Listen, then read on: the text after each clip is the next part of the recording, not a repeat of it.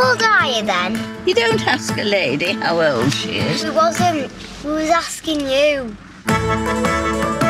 Got a job. A supermarket? What? He's 82. How are you going to get there? Bus. Him on a bus. I laughed. People like getting on a bus. Like who?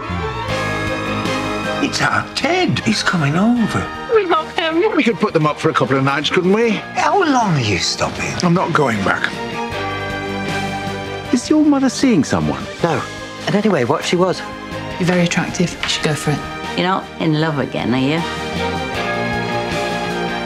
I can't face debt every day. Let me see what I can do. This is you all over, Gillian.